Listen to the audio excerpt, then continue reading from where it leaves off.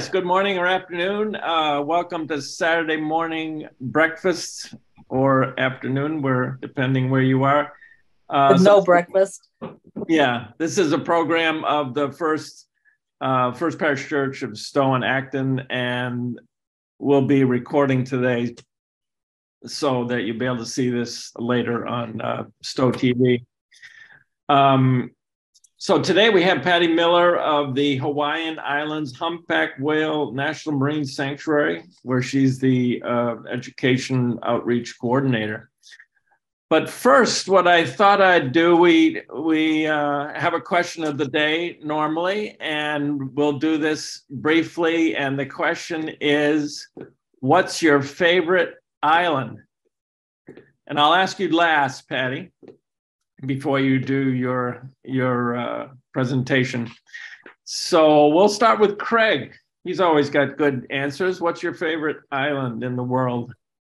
Um, well, before I get to the favorite island, I want to tell you that my favorite lettuce right now is little leaf lettuce. Oh, good. That, Patty, that was last last month's presentation was about little leaf lettuce. That stuff's taste that that's pretty good lettuce. It is. It is definitely. Um, Okay, so my my favorite Hawaiian is is a Hawaiian island or no, just island any, in general? Any island in the world. Oh, I don't know. Boy, that's a tough one. Yeah. Well, you can make it. A- I guess I guess it would be Jamaica. That's that's where I I started scuba diving. So that was that was that was an interesting island for me. Oh, nice. Okay. How about Linda, my wife? I'd have to say Put-in-Bay and Lake Erie because that's where I grew up, and that was always an adventure to go over to Put-in-Bay. Yeah. Okay. Rick, you got an answer? Favorite island anywhere? Yeah, and I think you know my answer. It's Monhegan off yeah, the coast yeah. of Maine. yeah. yeah. And she she has an answer too. England. England. Whoa, that's a big island, but we'll, we'll go with that. Uh, Martha, what's your favorite island? Well, I guess right now it would be Big Island. Big Island, okay. Yeah. And Re- Rebecca, are you there to answer? She's yes. she's only if I can get my computer to work. Um, I'm going to say Nantucket just because it's the only island that I've been to recently. okay, well that's decent. I'm going to say you can read my well, it's backwards, but anyway, um, Martha's Vineyard, I think, is my favorite island. Okay, Patty, um, what's your favorite island? And then you can uh, begin your presentation once I share my screen. Right kind. So it looks like everybody's favorite island is is what you're familiar with and where you've been. Um, I've lived on both Oahu and Maui, and they're very different. I would pick this these two out of all of the Hawaiian Islands if I was to live on one of them. And uh, just very different lifestyle. Maui's very laid back. So right now, my favorite island is Maui because I'm here. Yeah. So um, yeah.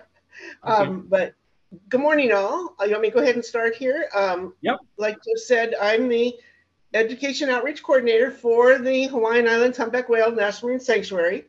And um, it was funny, we had a staff retreat this week, and one of the things that came up was we need to have a better name than what we have because it's way too long um, to uh, make people remember. But um, we are, um, I, like I said, I'm the education outreach coordinator. We have people on all four islands uh, that do outreach and education. Maui is the main one where our main office, where we have a visitor center. We also have our research boat is here, and it's because most the the biggest population of whales um, in Hawaii is usually down here around Maui because it's calmer waters um, where they hang out more and we get more of the research and the entanglement and the things going on here. So, um, we, but we are based on all islands and I work with all islands on education outreach kind of things. Uh, do a lot of kid programs, a lot of adult programs. Our visitor center uh, brings in lectures and a lot of folks. It's interesting. Maui if um, and Jeff and Lynn have been on Maui, there's not a whole lot to do at night on Maui like there is on Oahu. And when you go home on Maui, you, you don't mind going out again on Oahu. People don't want to go out again. But I find that people will come, the public comes to a lot more evening lectures and events um, here on Maui. So I find it to be a more environmentally um, conscientious island, really, or at least they're out there listening to things and participating than like Oahu. And again, because you don't want to drive on Oahu and we're limited here. So it's great. But anyway, let's go forward on this. Um, to talk, we're going to talk about whales today and see what you know about whales and see if we can teach you something. Next slide, Jeff. Um, there's our humpback whale. Kohola is the Hawaiian term for the whale, and this one is saying, "Hi, I'm here and uh, glad to meet you folks today." Doing a breach. This is an awesome thing to see.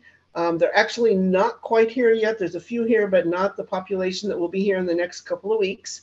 Uh, next slide. Um, we are part of uh, NOAA, which most people know NOAA as the Weather Service.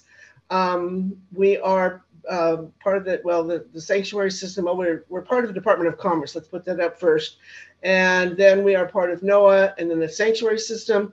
There are sanctuaries. We've got 13 of them. Um, and there are several, about three or four more that are being established, and they're mostly around the Great Lakes and around the East Coast area right now that are coming on board. Um, all of the sanctuaries were created to protect some kind of unique um, marine environment. So we are all very different. Um, next one.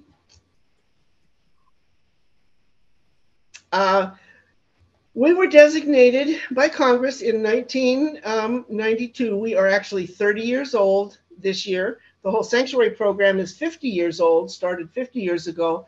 But those orange lines that you see are the real designated areas that are called um, our humpback whale territory. And you can see there around Maui and around um, Molokai and um, Lanai that our whole area is sanctuary waters. When they figured this out, they had a plane fly lowly over these islands and they counted the they counted the whales and the areas that they found the most whales in is where they designated um, specific areas to be within our um, boundaries. It doesn't really make a whole lot of difference because the whales go from place to place and we protect them wherever they are. We can do a little bit more within the boundaries, though, areas than we can otherwise, but that's kind of why it was established that way. It may change. It's been we've been had questions before of let's make it bigger, let's go farther. Um, it takes kind of an act of Congress to make that happen. So we like it the way it is. Um, next slide. Um, the whales, I love this slide, go tend to go from um, north to south or north to north to the equator, south to the equator, and back and forth. And what this is showing is that the whales now, the green ones on the top, are pretty much where our um, Hawaiian Islands whales are. They go north to feed during the summer months, and then they come down to the equator or the warmer waters where we are now for the winter. The ones in the south are doing the same thing. They are going, they're feeding down in the cooler waters where there's food and then moving up uh, to the more towards the equator. Uh, next one. Um, the humpback whales used to be um, uh, listed as endangered in the last, I think it's the last three years. They have been um, marked now as depleted. Um, we are not no we are no longer um, being the endangered species. Uh, this happened because the population has gone up. Um, on Kauai, the fishermen several years ago felt that the whales were interfering with their fishing, and which is not really true because it's not a whole lot of fish. And the whales are not eating that kind of fish. They're not eating down here. But they started a petition. And with that petition, they got enough signatures that they got a real um, search of the whales here um, out in the Pacific area. And they did do a count of them and they found, which is great, the numbers are way up. So it changed it. They are depleted, but they have the same protection as they did is endangered. So it doesn't really matter because they are listed under the Endangered Species Act and they're protected in the same way. The one rule that we have is that you stay 100 yards away from that whale. Whether you are on a kayak, you are surfing, you are on a whale watch boat, a cruise ship, or whatever, you need to stay the 100 yards away from that whale. So it means that if you are in a boat and you're going forward and all of a sudden the whale pops up in front of you, you can't help that. You stop your boat, and as long as you stop and you sit still, you're not in trouble. if you are approaching it, you see the whale, and unfortunately, we get a lot of the folks that want to get up and get the better pictures. They're going to go closer and closer, and they're going to go closer to that whale. It's as much for the human protection as it is for the um, whales. Uh, several years ago, there was a, a um, whale watch boat that went out from Oahu. They went out from the dock, doing exactly as they were supposed to, going very slowly. A whale pops up right in front of them. The, the boat hits the whale. The whale is 45 tons. It's a huge thing. The whale hits the boat. There was enough of a of a of a reaction there that the whale uh, that the child was sitting in his father's arms. This three-year-old went flying, hit just hit on the uh, railing of the boat, and the kid actually died from it. There was enough of an impact with that. So it's again, it's as much to save to protect the people as the whales. The thousand feet by air is hard these days because of all the drones. And so there's new rules coming out about drone use and how they can use the drones and how close uh, you can get to it. But uh, we actually have what are called secret, we call them the secret police that get on the whale watch boats and are out on the water. And especially around here in Maui during whale season, they are a um, actually an officer um, type of group. They, they actually carry a gun. They can arrest these people. They can find them for going too close. So uh, folks do get stopped by them. It does help us keep the distance. And most of the boats are, it's the professional boats are staying away from them. It's more the kayakers and, and some of those folks that are going too close. But uh, we have what are called the condo police. And I don't know where Jeff and Linda, if you're looking out the window at the water, you can see that the condo police are great because they see the people that are approaching the boats or the whales. If they can get pictures for us, and especially a number on the boat, they call us, we report it, and um, they uh, then go after them at least to talk to them. So um, again, the approach is as much for the safety as the people. So next one. Um, this again is talking about the distance here um, that I just went through and the reason for doing it. And if you can read what that whale says on the tail, then you are definitely too close to it. So um, um, it's kind of cute if you can get up close enough to see the words on that on that tail. But again, keeping that 100 yards away from the whale. Next one. So we do education research and what's called resource protection. Um, let's start with the education and talk about the whale itself. You guys are back there on the East Coast. You get the whales. Don't know how much you know about them. We're going to focus specifically on the um, humpbacks here. But let's go to the first one here. First question for you is how big is a humpback whale? Wait a minute. Next no, says, why are they called humpback whales? Oh, I'm sorry. I can't read the top words. Why are they called humpbacks? Okay. First, next one. This is a good question for you guys back there, too. Okay. These guys are also called humpback whales because when they, the, the whale itself does not have a hump on its back. The usual question answer is that it has a hump. Oh, I'm not going to work with that today. The, that the whale does not have a hump on its back but when the whale dives down underwater, it humps its back and it dives down, stays down about 15, 20 minutes, and comes up again. They started calling them the humpbacks. The right whales, which you guys have back there on the East Coast, were called the named the right whales because in the old whaling days, the whaling guys would go, That's the right one, go get it. And they started calling them the right whales. And so that's the common name of your right whales. That's how they got the name. Ours got the humpback because they swim along, they hump the back, and they go underwater. So, um, kind of cool story there. Yep. Next one. This one is how big is an adult humpback whale? Okay. Whales are huge. Um, they are, I think the next one is a really good example of what this is. They are about 40 to 50 feet long. They weigh about 40 to 50 tons. And I love this picture because it shows the um, the picture there of the of the human being that's you compared to the whale and what it would be like to get flipped up in the air with a tail from that for kids this is a great one it's about the size of a big school bus that is there we actually have an inflatable life-size humpback whale we only have one room at our facility where we can blow it up blow it up you can go inside this whale you can see it's got three stomachs i never knew a whale had three stomachs just like a cow um, you can see the baleen, but um, it really gives the perspective of how huge these things are. And when I first started uh, teaching with these guys, I thought, I need to know how to draw one of these. And I looked carefully at the whale. This whale is not quite in perspective. but when the actual whale, the tail or the uh, flukes are about 15 feet wide, about 15 feet long. The mouth of the whale is about 15 feet long, huge oh mouth. God. It has a tongue the size of a small car. So one third of the whale is the mouth, about a third is the body there, and then you have the tail. The, uh, the flippers on the side are actually 15 feet long also. So I've got a drawing thing that I do with the kids, but it's I've never I've been able to been looking at other dolphins and other animals have not been able to see that. But this guy is very proportional, 15, 15, 15, kind of interesting. And you're going to see more of this mouth as we go on. Okay, next one. Okay, they breathe air. You can keep clicking here. Humpback whales actually have two blowholes. Baleen animals and baleen, uh, they have baleen, what's called baleen instead of teeth, and I'm going to show you some of that in a minute.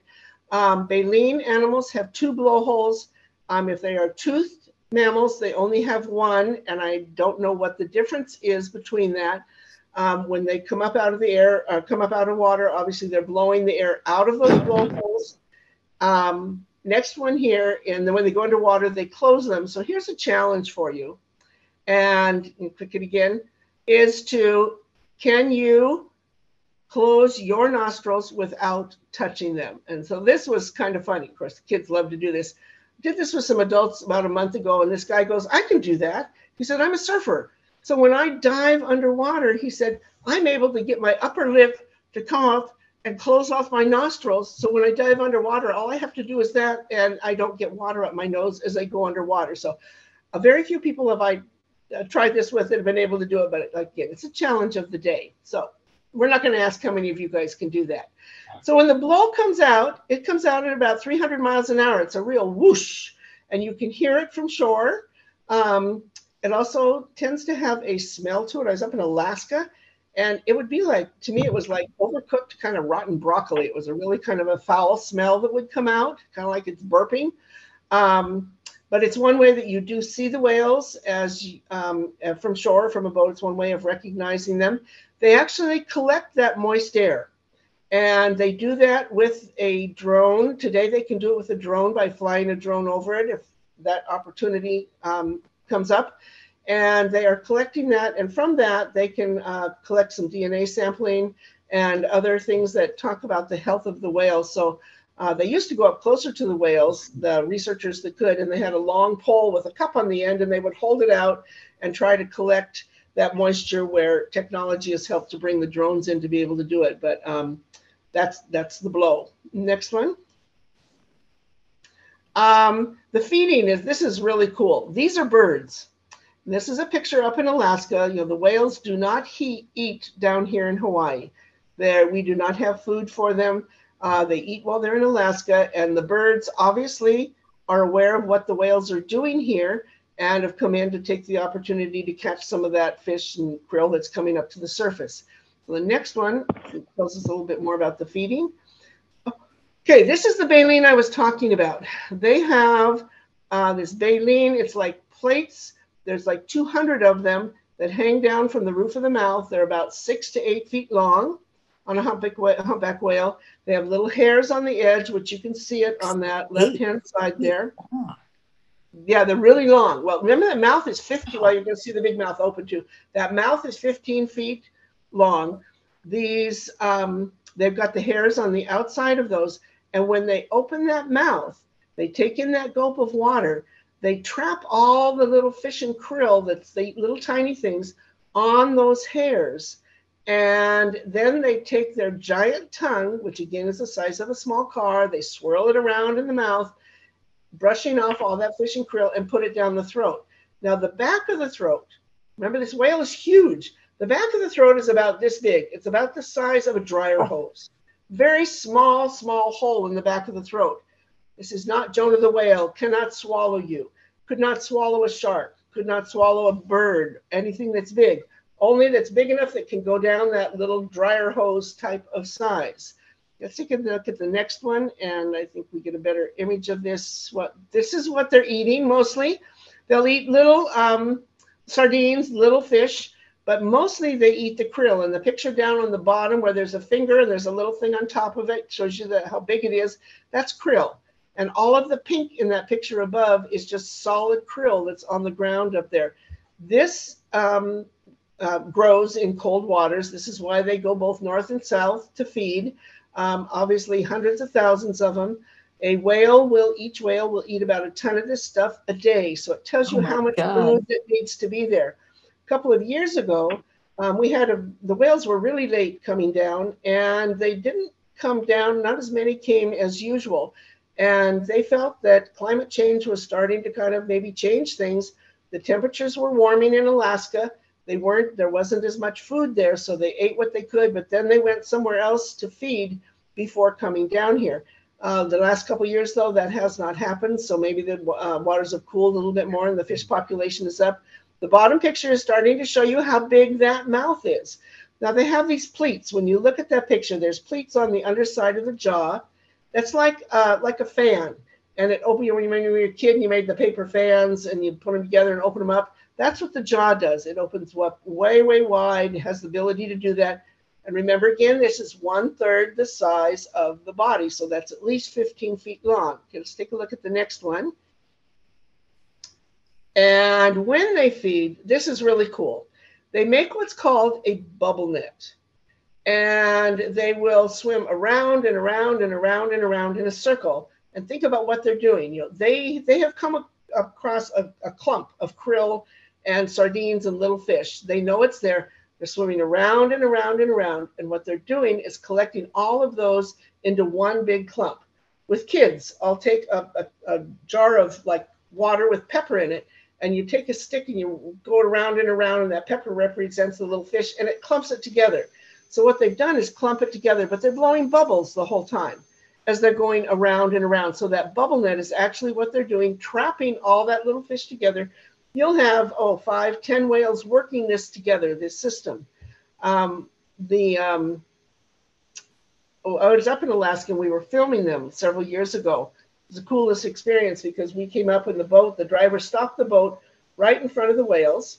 I don't know how he knew he could hear them. When they're feeding, they're howling, a very different thing than when they sing their songs, but they were howling like a ghostly howl. And he put a hydrophone in the water, could hear him, and he stops the boat. And the whales start this giant circle and they're blowing bubbles. It's going counterclockwise all the time. And these big, huge bubbles come to shore right in front of our boat, luckily, which you'll see why in a minute when you see the video. And they closed in the circle and it got quiet. And then all of a sudden, they come to the surface with their mouths open, taking a gulp of this food. And then about 15 minutes later, or they sunk back down. About 15 minutes later, they started doing it again. We watched it for about four hours, just sitting there watching this thing over and over again of this feeding process. So well, take a look at the next one, I think is the video that shows you how they do this. Oh no, oh this is just the mouth. Look at that bottom jaw. The things that are going out to the side up by the white of the under of the whale is the pec fins. Those are the fins. That jaw, that's just a huge, it can open up huge, huge wide. Okay, go to the next one. And those are the bubble nets. Okay, there's the mouth open, filled with, you see that the baleen that's there on the right-hand side, and you see all the little fish and krill that's there, and he's gonna stuff that down that little, I wonder how it doesn't get clumped in that back of that throat, but he stuffs it all down that throat. He spits out the water. Okay, next one. Okay, this is actual feeding. That's the fish swimming along. Here the whales are coming out. That's the open mouth. Clumping down. Is taking a gulp of water. Is spitting out that water. This was so cool to watch. Amazing animals. And they're so huge. There were probably 10 of them in this group. Wow. I want to know why they don't land on each other. Yeah. As they probably do. But again, they come up, took this huge gulp, and then they sunk down and they started that bubble circle again. You want to watch? Okay. Um, that one was um, as the whales were there, we watched them come up to the surface at one point. They quit the howling, came up to the surface, and started going off to the side a little bit. And we could see another pod of whales way over on the other side of the bay. This is up in Alaska. Our whales chased them away. It's like that other pod heard our whales howling. They knew it's like, oh, there's a restaurant over here. They got food. Let's come. They started over. Our whales chased them away. The other guys turned around, left, and our guys went back down and continued feeding. It was so cool. Um, really neat experience. That's up in Glacier Bay. And so if you take a cruise up in Alaska or you're up there, Glacier Bay area, you have the opportunity of sometimes being able to actually see that. It's really awesome. So this again is just another part of the migration shows where the whales are going. The orange is where ours are going from Alaska down to us. Um, you get some on the west coast and some over towards Japan and the Philippines, down towards Australia. Next one. Um, they this is their migration, and it's like how I want to know how in the world do they know where they're going? But they go back and forth between Alaska and us, um, about three thousand miles. Takes them about four to six weeks. Um, we tend to see um, either a very pregnant mom come down first, or a mom and a young kid. They tend to give birth down here in Hawaii. A couple of reasons. There's less predators down here than they have in Alaska. And also, the um, you know when the whales eat all that food, they're eating a ton a day of it. Um, they're storing that that food as that's what blubber is. They're storing it as fat. That blubber is in their body. It keeps them warm. It's also the storage of food that they work off of all the time they're down here because they don't eat, so that they're basically using that blubber to live on. The newborn babies don't have any blubber. They have no way at first of protecting themselves from the cold. So by the time they're down here for a couple of months, they've eaten enough from nursing with the mom that they have a little bit of their own blubber as they go back up to Alaska. So a couple of reasons why the babies tend to get born down here. Next one. This one, I love this picture. There's your baby, Fluke, and your mom, Fluke, are the tails. Um, the babies, again, 15 feet when they're born, again, to this proportion thing. Don't know why. So females that have had children, just imagine what that's like. And um, they nurse from the mom. Uh, really interesting, a whale does not have nipples. They have a slit. And somehow that baby knows how to go up. The whale's like this, goes up, touches that slit, nudges it, hangs down below, and the whale, it's like a faucet, squirts the squirts the milk just out of the ah. out of out of her and into that into that baby whale. It's very thick in milk fat, so it takes it a while to, to um, dilute in the ocean water, but that's how the babies um, are feeding. Think of that poor mom is not feeding also while she's here, but she's feeding that baby. Um, but interesting fact, our guys have been actually able to been able to record some of that nursing behavior with the babies. Um, but the mom tends to she protects that baby. I think the next slide talks about her life cycle with the kid. Um, yeah, uh, you know, they they um, they mate when they're down here in Alaska. I mean, I'm sorry, in Hawaii. They go back to Alaska. They feed. They come back down here and give birth. The mom then takes the baby at the end of the season here, takes the baby back to Alaska, teaches it how to feed. Then the baby comes back. It's now kind of a teenager. Comes back to um, Hawaii with the mom and then goes, okay, I'm a big kid. I'm going to go play with the big kids, leaves the mom and goes away. And the cycle starts all over. So the mom is really with that child for about a year. That's kind of the, the uh, oh, cycle. Very, very cool. Yeah. Next one. How to spot a whale. Okay. If you're out here, and those of you that are coming out here, um, there can be several things you're going to see. You're going to see the blow. You're going to see that pec fin That's it. To me, it's like they're waving. They slap it and slap it up and down and up and down. The tail also goes up and down. It's exercising. It's playing. They say they are very playful when they're down here. A lot more of these behaviors here than up in Alaska. Um, the the spy hop is kind of cool. It's like he's coming up, bringing his head up. They'll go around in a circle looking for what's out there. Um, but the real interesting one here is this head lunge. And these are two males in the back. The front one is a female. And these guys are fighting over who's going to become the boyfriend of this female. Let's go to the next picture. And they, um, it's like the survival of the fittest. And here you can see them. They, they land on. They're, remember, they're 45 tons. They're landing on top of each other. They're fighting for that position with that female. Now it's survival of the fittest. One of them then will give up and go away. Next picture, I think, shows that there's probably no. This one just just showing they actually draw blood. They pull skin off of each other. They are fighting, and from shore, we can see this. And when our, our research guys are out there, um, they see this behavior quite often here in Hawaii. And it's a lot of splashing, a whole lot of splashing that's going on as you see them fighting. And they go on for hours and hours because the one guy survives, and then the next one, I think, is what I want to see of all. This is all the whales underwater that were waiting to have their turn to fight for that position with that female.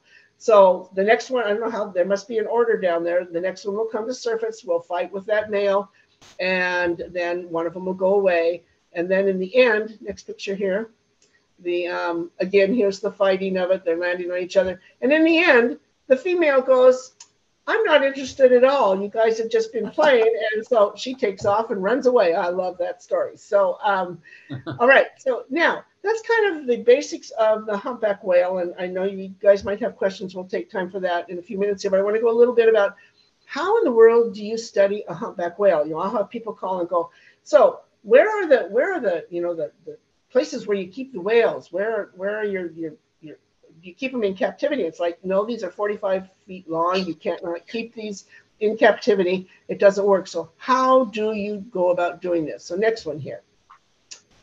So our research, go ahead to the next one. They've got several things that they're doing. One thing is that, and this is all with special government permits to be up close to the whales. This is they put tags, satellite tags on the whales and for several different reasons. One is if a whale becomes entangled in fishing gear and our guys want to um, disentangle it and they need to follow it for a while until it gets tired, they will put a tag on it so they can go back and find it later. If it's late in the afternoon or the water's too rough, they will put a tag on it. So on the end of the pole is a satellite tag, um, stays on, so it depends on the activity of the whale, how long it stays on. But if it's at nighttime, then by the next morning they can go back and find where this whale is. The tag comes off, floats in the water, sends up a beeping sound, and they go out and collect the tags. They are expensive, so they'll go back and find them. Next picture shows you what the tag looks like. Um, it's just that little orange thing on them. Whale doesn't know it's there, but it's a way of tracking them. Um, they're doing it also just to see where the whales are going, and they're following behaviors with them. Um, they now have, along with those tags, uh, the whales are going deep. Uh, they'll be able to go underwater and follow them. This last year has been really cool stuff to see where they're seeing the whales underwater. They're getting video and sounds of what the whales are doing underwater. And it's coming from that device that is recording those behaviors underwater. So they're learning a lot more about them. Next picture. They also have what's called an arm which is a long pole with a um, camera that goes off the side of the boat. You know, they can't get in the water close to the whales. It's not safe, but they're able to put this arm down and are able to take a look up close at the whale. Um, they are looking for scars. They're looking for injuries on the whales. Um, they're measuring the size of the whale, but it has increased greatly what they are learning about the whales by able being able to be underwater more with this. So it's a special special camera that's underwater. Also can record sounds. Next one. Um, well, here's your arm again, doing again what they're doing. And then they're doing acoustical monitoring. So this device goes down underwater. They have them in several places around the Hawaiian Islands where they have put these down. They leave them down for like three months at a time. They record, these record only the sounds of the whales and what they've been able to do. Every whale has a little different sound to them. So we had this poor intern last summer that sat and just listened to these sounds that come out of this, hours of sounds. And you can recognize how many whales have gone over this particular device. And they can also get somewhat of a timing of when this is happening so that they, it's one way they're able to evaluate how many whales are here. Um, they're now putting these down in the coral reefs also to start recording behavior and things in the in, within the coral reefs. But um, really kind of a cool thing. We got great whale sounds. Uh, next one. Can you hear the singing? Yeah. I can't hear that, but the the oh, whale. I... The, I can hear it. Huh. It's weird. I can't. It's okay. Only the males sing. and they only they sing. They got to be upside down in the water when they actually sing.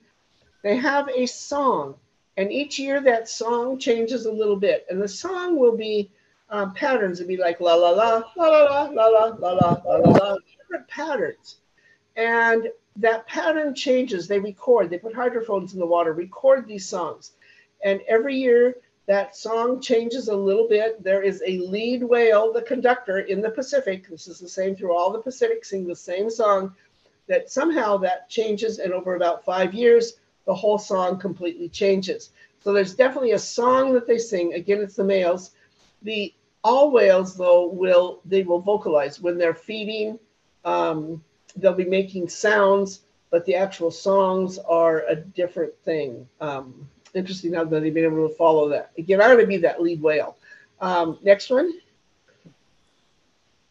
Okay, they do a lot of, we do a lot of um, recording just where whales are seen. And all of the, that's done from a boat that's out there weekly and from shore from the same spot. They do the same transect areas to count how many whales are there each year. So all of those colored dots represent a different year. This is right off of Lahaina off of the coast, and this is how many whales have been sighted in those years. Um, they get a position where they are and record that, and it's another way of telling how many whales are here, trying to keep track of populations. Next one. So one thing they look at to identify a whale um, is by the pattern on its tail. Um, all whales have a different pattern. It might be a little different shape. It's got a different coloration to it. Uh, the markings are different on it. The researchers will be out there on the boat. The boat's going like this. The whale's going like this. And somehow, when that whale comes up, they've got to snap that picture of that tail. They have thousands of images of whale tails. Um, again, the interns, they pay their dues. They sit at their computers and look at those tails and match them um, from all the other whale tails that are seen out there to see if it's a new whale they're seeing down here. A dolphin, they can look at the um, dorsal fin of the dolphin and they can, that's how they identify those guys. They can do that with a computer. Then for some reason, they cannot do this with a computer. They're working on it, but um, it's a task of identifying these guys. They do not name them. They will give them a, except for a few of the whales they want to use for creative purposes, they're just given a number but it's the way they identify them. I was on a boat up in Alaska when we were filming the whales, and researcher that was with me got so excited because she recognized the same whale from up here or from down here that she was seeing up in Alaska at that time. So, um, but it's recognizing those fluke patterns on those tails. Next one. Um, we use drones and this is fairly new in the last couple years where they've got into really using the drones and they're getting much more sophisticated with, they, with what they can do. They can get up close to the whale and really see from the surface where that arm is doing the underwater evaluation. The drone is flying and figuring out what's going on underwater there. I mean, uh, from the surface. So um, lots of reasons for those drones and a great new tool that they can use. Next one. And one of the um, main things that we do down here, besides all the research, is unfortunately the disentanglement of the whales. We are well known for that. One of our staff uh, trains people all over teams all over the world to do that. And unfortunately, when the whales swim down from Alaska, they get caught in lost fishing gear. Um, one, one whale came down with a crab pot attached to it, big crab pot. Oh they swim through the ropes and things, they get entangled in this. And we're going to show you here how they disentangle that. You know, our guys will get a call. The people that see them first are your whale watch boats that are out there usually because they're out in the water all the time. They will see um, the whale with uh, a buoy attached to it or rope around it or something. They call, we have teams ready to go on every island and they will jump. Ed, if he can, will fly to that island depending on the situation they are ready to go out and disentangle these whales to free them. So we're going to show you how they do this. Let's see what's next here. Um, the threats are, again, the orcas, the whales, and the sharks. Not so much down, somewhat down here. Um, a lot more up in Alaska. Our main one down here, main things are entanglement and vessel collisions, where you can see that whale on the bottom ran into a rudder of a boat. But the entanglement, that whale is pulling along these buoys and things. it keeps the whale from being going being able to go underwater to feed. Um, slows them down. They are more approachable than by predators. Um, probably not going to survive long if they have a whole lot of this on them. So next one. Um, shows again just up close what it is. And I think the next one is the actual video here. Oh, no. This is in the last, what, 20 years? The number of reports, they've freed 151 animals. Um, some years are a lot more than others and do not know why.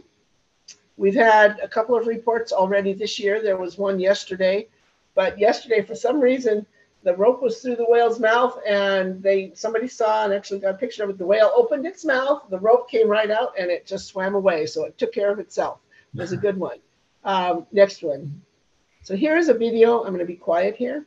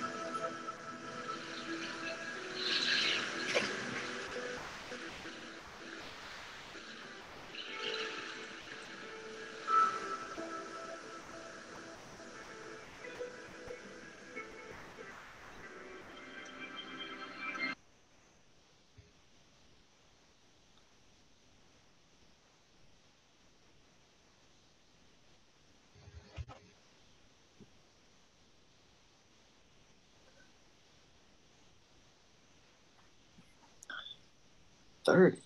Wow. Pretty cool. Twelve thousand.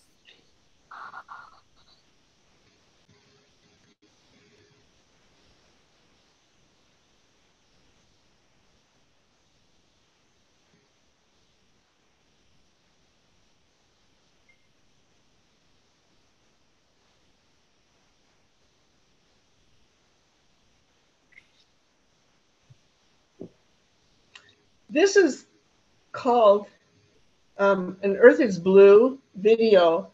And NOAA has a bunch of these. If you just Google Earth is Blue videos, they have a whole bunch of these on different animals and different things that NOAA does. It's kind of cool to see if you're interested in getting into these. So again, Earth is Blue. This is some of the rope that was taken off of one of the whales. Um, one whale got stuck real close into shore here on Maui in cabling, like cabling for TVs and um, that kind of cable that is a big heavy metal cable. They could not cut it loose.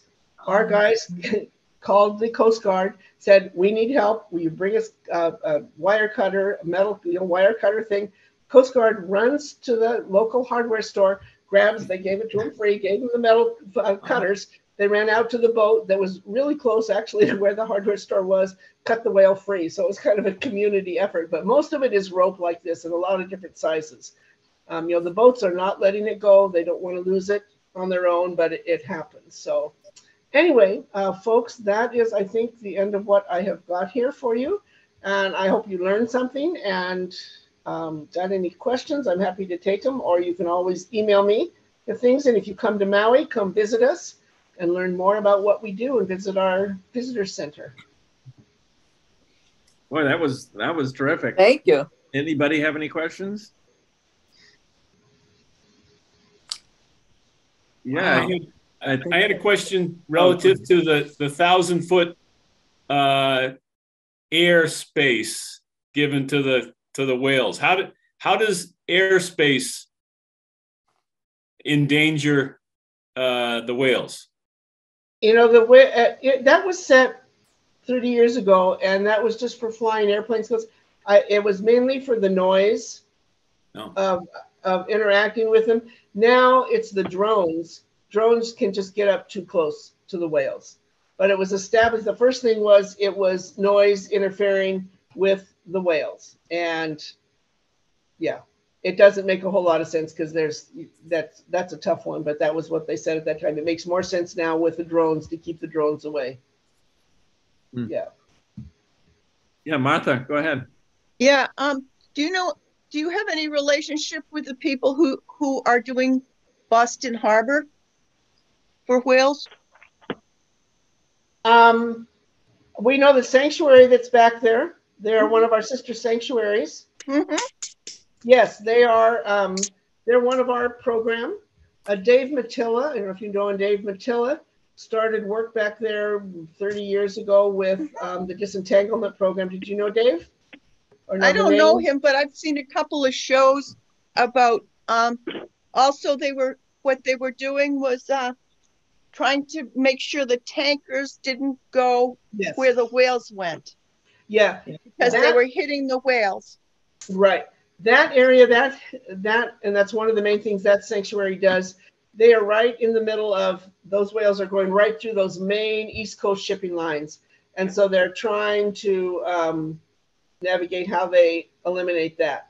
You know, out here we don't have that kind of problem. We just have our local cruise ships and our our um, boats that are bringing things to our to our islands that they know to go slow in whale season and they're watching out for that, that they do hit them, but nothing like what the East Coast has. And so they've actually tried to find where the whales, the populations are there and make it be that that's not, that the shipping lines can't go through those areas. Um, it's a real problem back there. Yeah. You have a whole different situation. Yes. Yeah. Yeah, go ahead. Other question. Uh, hi. Um, I lived in the South Pacific for three years, and I'm wondering: is the are the humpbacks down there around Tonga and Fiji and Samoa a whole different fleet of humpbacks? Yes, they are the one. In fact, our guys um, tend to go down to Samoa and work. And we have a sister sanctuary in Samoa, and go down there. Those are the ones that go from there down to um, down to the Arctic, to Antarctica area to feed. So they're going south from there. But yes, different population from what we have here in Hawaii. Yeah, Neat. yeah. Any any other questions? Re- Rebecca, why don't you tell us what you told me earlier, what you had done an earlier work experience? Yeah, so I I was one of the interns. You kept referring to the interns doing a looking at the whale tails. I did an internship with um, what was then called the Cetacean Research Unit. It's now the Whale Center of New England. And my job was to track, take notes as we did whale watch um, research trips on behaviors. And so my first three months, I actually did a lot of darkroom work because the whales weren't in our area yet. Um, so I was developing all the pictures of the flukes for the previous year so that we could then go and identify all the whales. Yep. And then after that, I once we were actually doing the research trips, my job was to take the notes. And when that when Patty referred to the whale breath, it it really does stink, and it's really bad for camera lenses. So if you go on a whale watch trip and you're getting good close boat activity, just be careful because when they exhale, that's really not good for your camera lenses. Um, so, so I saw a lot of the behaviors that she was talking about in Alaska. Pretty Yeah. much, if you go see a whale watching trip anywhere out of Massachusetts, they're all going to the same place. They're all going to Stellwagen Bank. Yes. And what Stellwagen Bank is, is it's a long, elevated portion under the ocean. And because it's only about 100 feet deep at the main part of the bank, we get a lot of um, sunlight coming in with the cold water coming up, and that allows the, the plankton to grow like crazy. Our whales don't actually eat the plankton. What they eat are these little fish about this big called sand lance. but the sand lance eat the plankton. So that's why Stellwagen Bank's a really important feeding ground in our area. And as she said, it there's a shipping lane that goes right past it. And so we have a ton, that's where we lose a lot of our right whales. We lose a lot of humpbacks too, but you know, we have both. Yeah. Oh, yeah, I could answer any other questions about our area, but that's the basics. Yeah. And the life of an intern. And what's interesting is that you were developing the pictures. It wasn't digital. What you know, Right. it's what what has changed over time. And just this last, you know, 30 years, technology has changed so much of what of what is done. I had a gentleman come in yesterday to talk to us about he's they're developing a they've been working with the oil companies and they've got this robot that they put deep on the ocean floor and can collect all kinds of information about water quality issues and they can pick up samples on the floor and whatever. And they were doing it so they were paid by the oil companies to see are they dropping oil on the you know what's happening there. Oh. But he wanted to do something with the whales and his thing was he said one thing they want to do is see how much whale poop they can collect. And they're doing a study on that. It's like okay this is an interesting one to want to do so um, you know they're out there looking at everything there um, Yeah. yeah I would think you would have to do that at the surface. I don't know. Every now and then you you you see a whale slick yeah in, in our area when they're feeding, you know. So yeah, that that's interesting. yeah I just I started my internship. It was literally about 30 years ago. Hydrophones were were just starting to be Yes. inexpensive enough for us to use in our research. Yes. So yeah, things have changed a lot. yeah big time big time. So um, yeah. Funny.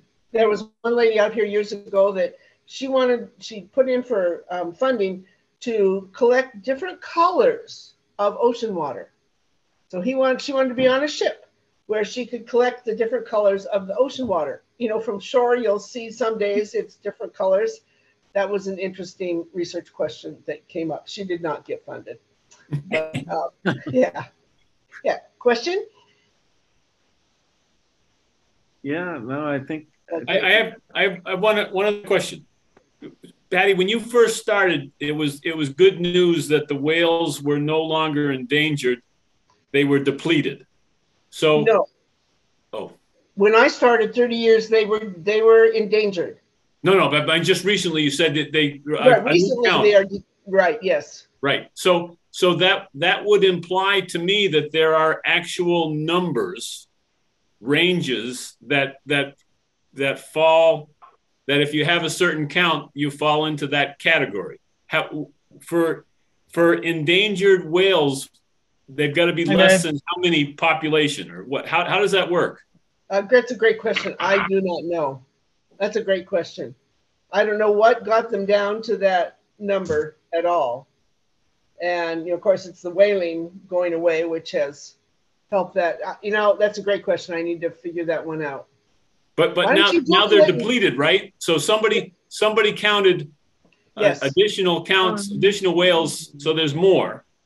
Yes, they did. They took the count around the Pacific area, and so it's not just Hawaii, but it's going over towards you know Japan and the Philippines. And so somehow they got a um, an accounting from those areas. I need to go ask that question. I do not know. Oh, okay. We didn't want them to become. We, we liked them endangered. Um, Okay. But luckily, they are treated the same way. I do not know that answer. Sorry. Great question. well, Patty, thank, thank you very much. This has been a tremendous presentation. And And thank you. Yep. yeah, yeah. Thanks for being there, guys. And uh, enjoy the rest of your day. It looks Thank like you. the weather's better in Hawaii than here. could- Yes. Thank you for reminding us Yes, there's it warm is. weather. Right.